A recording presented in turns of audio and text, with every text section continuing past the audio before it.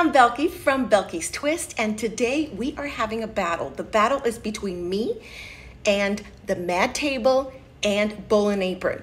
That is Patty and Michelle and they're making their respective Cuban and Puerto Rican versions. Of course, I'm making my Dominican version that we call locrio. I am gonna make it without sofrito, which we also call sazon in DR, because I make it like that more than I do with the actual sofrito, because sometimes I have to make it, I don't have time, or I can't get my Loisa one that I usually order and have it shipped to my house. But I'm also gonna give you tips on how to make it with the sofrito.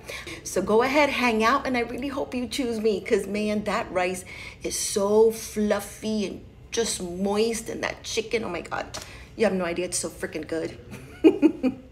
Season with lime juice, soy sauce, adobo, oregano, garlic, mix well.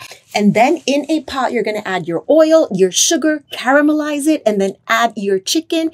Give it some color on one side, then turn them over, add a little bit of that liquid, let it cook for another four or five minutes, remove them, and then go ahead and add your tomato sauce, your olives, a little bit of that olive juice, your onion, chicken bouillon, and a little bit of chopped cilantro. That's the cilantro I prefer to use. Give it a good stir, add water, cover it, bring it to a boil, and then add your rice. Give it a stir, bring it back to a boil, and allow that water to evaporate. Now, once it's evaporated, you add the chicken back in with any juices left. You cover it, cook it for about 25 minutes, give it a stir, cover it, and then give it another stir, and that's it. This is the beautiful locrio you're going to get. It's so moist, it's delicious, and let's see what my hubby thinks. At some point.